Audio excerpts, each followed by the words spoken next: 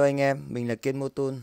Vâng, để tiếp theo cái series xăm soi các cái chai dầu giữa một bên là hãng sản xuất xe máy, một bên là hãng chuyên sản xuất các loại dầu để bán ra thị trường đến tay người tiêu dùng như chúng ta. Vâng, ở trên bàn của tôi đây là có hai chai dầu, một bên là thương hiệu của Yamaha, một bên là thương hiệu Castrol.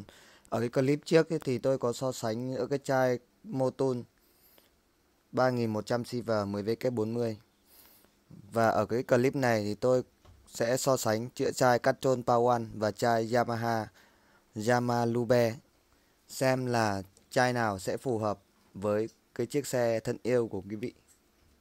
Màn hình các bạn, mình đang có hai chai dầu, một bên là Castrol, một bên là Yamaha. Đây là mặt sau của hai chai dầu. Ở mặt sau này thì dầu Castrol họ ghi đầy đủ các cái thông tin luôn trên một cái dòng ở đây đó. Họ ghi là 15W40 4T API SL Yaso M2 còn chai à, của Yamaha này, họ ghi đằng mặt trước là 20W 40 API SG còn mặt sau là họ sẽ là đề là Yaso MA đó. Thì mình cũng chưa hiểu tại sao là những cái dầu của những cái hãng sản xuất xe máy họ cứ hay đưa ra là cái phẩm MA mà trong đó cái phẩm MA bây giờ nó là là là là thấp so với cái phẩm MA1 và M2 cao nhất hiện giờ là đang là phẩm M2 cái phẩm M2 là gì? Là khi giúp cho cái bộ ly hợp ướt của các bạn nó bám tốt hơn, nó tăng cái độ ma sát hơn. Còn ở trên cái chai dầu Yamaha thì lại phẩm MA cái phẩm MA này thì cái hàm lượng mà gọi là tăng độ ma sát thì nó sẽ thấp hơn nó sẽ dễ gây trượt cái bộ ly hợp côn của các bạn hơn. Đấy, khi các bạn mà gia tốc đột ngột ví dụ như các bạn kéo từ số 1 sang số 2 gọi là gia tốc đó mà tăng ga thì khi sang số 2 thì cái máy của các bạn nó đang bị vút một cái vòng phút nó rất là lớn mà khi các bạn sang số như thế là cái côn nó đã bị cắt. Và để nó bám được lại thì nó phải mất một cái thời gian lâu hơn bởi vì nó bị trượt. Nó mất cái thời gian lâu hơn là cái thằng M2 M2 là cái tăng cái độ ma sát lớn. Thì cái thời gian nó sẽ bắt côn tốt hơn, thì nó sẽ tránh cái hiện tượng là mài mòn và lâu ngày nó sẽ bị ban côn. Còn cái thằng MA này thì nó dễ ban côn hơn. Đấy là mình cũng chưa hiểu tại sao mà các cái hãng họ cứ đưa ra là cái phẩm MA như này.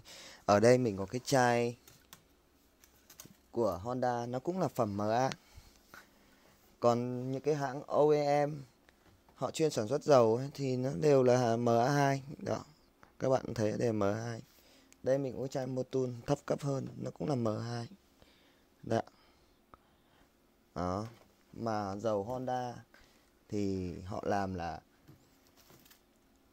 10 WK30 dầu đã loãng rồi mà phẩm cũng là MA không liên thuyên nữa, thì bây giờ mình đang phân tích giữa hai cái chai dầu của thằng Castrol và Yamaha đó.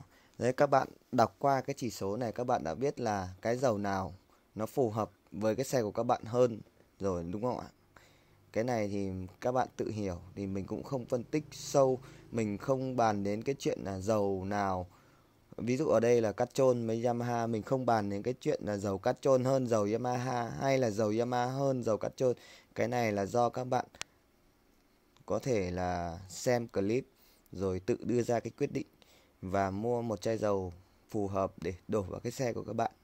Đó, mình đây là mình phân tích trên góc độ là hiểu biết của mình cũng như là những cái gì mà thực tế ở trên cái bao bì này nó ghi.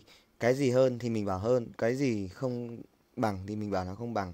Ví dụ như ở cái chai cát trôn này là ra số M2 còn chai Yamaha này là MA MA chắc chắn nó sẽ không bằng thằng M2 cũng như vậy là cái chai cát trôn này, cái API là SL còn cái thằng Yamaha này là chỉ là SG phẩm SG thấp hơn phẩm SL đó, thì thằng này lại một lần nữa là nó sẽ hơn thằng này. Đó nói chung là không à, lòng vòng vòng vo nữa thì tóm cái váy lại. Thì theo quan điểm của mình, theo quan điểm của cá nhân mình mình cũng xin khuyên cáo mấy các pro là không nên chỉ trích nhau. Đây là theo quan điểm cá nhân. Cách suy nghĩ của mình là mình thấy dầu này đi hay hơn dầu này. Đó. Còn phụ thuộc vào ý kiến của các bạn. Có bạn thì thích đi dầu Yamaha cho nó chính hãng. Có bạn thì lại thích thay thế dầu Yamaha chính hãng bằng một cái loại dầu khác. Ở đây thì mình có chia sẻ với các bạn là dầu cát trôn đó. Thì là theo như mình thấy là đi dầu cát trôn này sẽ phù hợp với cái xe Yamaha của các bạn hơn. Xe Yamaha thì nó có, trong dòng Yamaha nó có rất nhiều các dòng xe số từ giá rẻ cho đến cao cấp. Thì đi dầu Yamaha này mình thấy nó cũng không hiệu quả bằng cái dầu cát trôn đó. Vâng một lần nữa xin chân thành cảm ơn các bạn đã chú ý theo dõi cái clip của mình. Thì rất mong nhận được cái sự nhiệt tình, ủng hộ của các bạn. Nếu như các bạn thấy hay thì hãy like, share, comment để mình có thể làm được nhiều những cái clip mà nói về, so sánh về những cái loại dầu của thương hiệu khác nhau để đâu là sự lựa chọn tối ưu cho chiếc xe của bạn. Vâng, xin chân thành cảm ơn.